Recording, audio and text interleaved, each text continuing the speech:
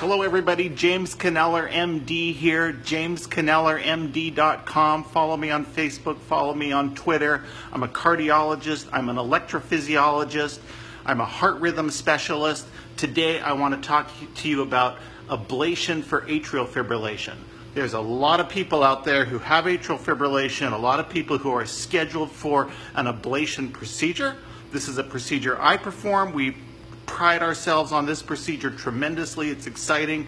We can do transformational things for our patients in terms of getting them back in normal rhythm, keeping them there. This improves energy, it improves well being, allows recovery of heart function, reduces stroke risk. People feel better, they live longer, higher quality of life. We love atrial fibrillation. I want to talk to you about one of the downsides of having an ablation procedure, and that is fluoroscopy exposure. Notice what I'm wearing. This very colorful shirt that I'm wearing is a lead vest, and I have a leaded collar to protect my thyroid during my, my procedures. And this is because we use dynamic x-ray that is shining an x-ray beam through our patients to help us visualize our catheters in the hearts of the patient while we're doing our procedure. And this is the fluoroscopy system here. This is the receiving uh, chamber for the fluoroscopy, which is shining through our patient's heart at certain times while we do our procedures. Being exposed to fluoroscopy can increase your risk of cancer. It increases my risk of cancer, brain cancer, cataracts. I'm doing everything that I can to minimize my exposure to the radiation that I am passing through my patient. Even during my cases, I will use these. Sorry, a little technical glitch there. We're getting right back on track. Bear with us. The quick trick is to be able to respond to emergencies quickly. But I use these leaded glasses during my cases to give my eye, there's lead in those glasses, to give my eyes extra protection so I don't de develop cataracts.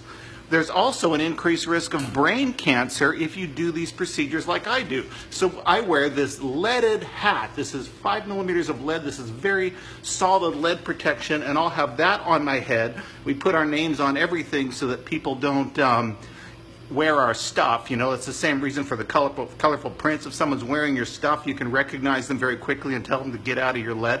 So we're doing all this stuff to protect ourselves but requiring our patients to be exposed. I even use this leaded shield. Everyone uses one of these. This is leaded glass, and I'll put that between me and the patient to minimize my exposure. Because as that lead, as that radiation goes through the patient, the patient then scatters that lead around the room, and I get exposed to it.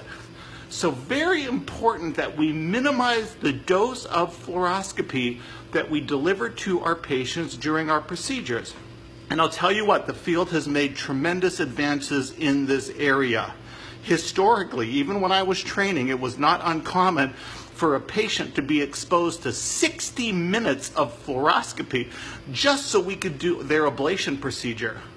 We now use computerized mapping systems that allow us to visualize the heart and visualize our catheters so we don't have to use fluoroscopy. We have our fluoroscopy times down to under five minutes. Some programs have eliminated them entirely, and we're able to do that as well in certain cases. Five minutes of fluoroscopy is not a problem. If you have to accept that to get your AFib ablated, that's a good trade-off.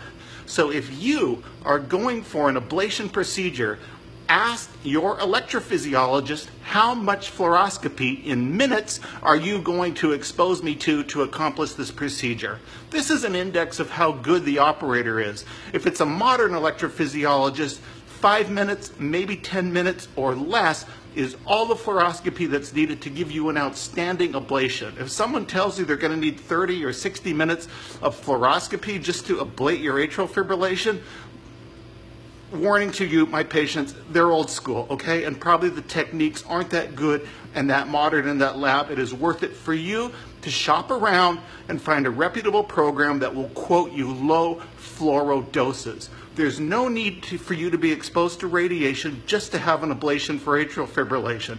There's no reason for us to increase your cancer risk just to cure your rhythm abnormality. So, Going for an AFib ablation? Congratulations. It's a great procedure. I wish you the best of success. We have phenomenal results. I know phenomenal results are happening across the country and around the world. Ask about the fluoroscopy dose. Don't expose yourself to excess radiation expect five minutes or less, maybe 10 minutes or less, that's no problem. The cumulative risk is very small. If someone quotes you 30 to 60 minutes, for me that's a red flag, and I would be shopping around for another program. Ablation for atrial fibrillation. We love it. I hope it helps you. Feel free to contact us. I'd love to hear your feedback on Twitter, on Facebook, on my webpage. James Kneller, MD. Have a great day.